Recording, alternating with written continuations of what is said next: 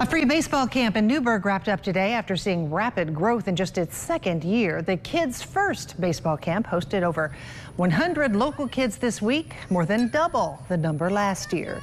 Kids ages 6 to 14 spent the week learning skills and drills on the diamond, ending with a little fun today with a last day of camp wiffle ball game.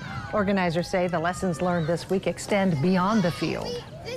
What we believe at Steel Sports is giving the kids a, a fun experience, get them out here, teach them skills, teach them the fundamentals, uh, but just all about positivity, fun, uh, and, and, a great experience for them. But we also, we go beyond the on the field with the skills, and we, we try to really instill those character traits and life lessons and, and leadership skills that they're going to need off the field and, and when they grow up.